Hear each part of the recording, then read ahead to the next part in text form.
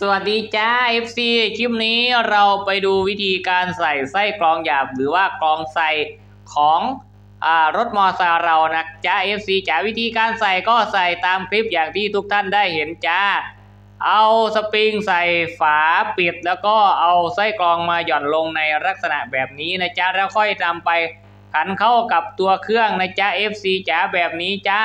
โดยเฉพาะในตระกูล Spark 135M X1R นะจ๊ะ FC จ๋ามักจะถอดออกมาแล้วลืมใส่กันเพราะว่ามันหล่นลงไปภายในอ่างน้ำมันเครื่องมองไม่เห็น พอเราไม่ใส่ไส้กรองใช้ไปสักพักหนึ่งเครื่องยนต์เริ่มดังแล้วก็พังในที่สุดสาเหตุที่ พังก็เพราะว่ามันดูดเศษตะกอนขึ้นไปทำให้ ท่อทางเดินน้ำมันอุดตันนั่นเองนะจ๊ะ FC จ๋าและก็ทำให้ปั๊มน้ำมันเครื่องพังน้ำมันเครื่องไม่ขึ้นไปหล่อเลี้ยงชิ้นส่วนก็ทำให้ พังทั้งเครื่องเลยจ้า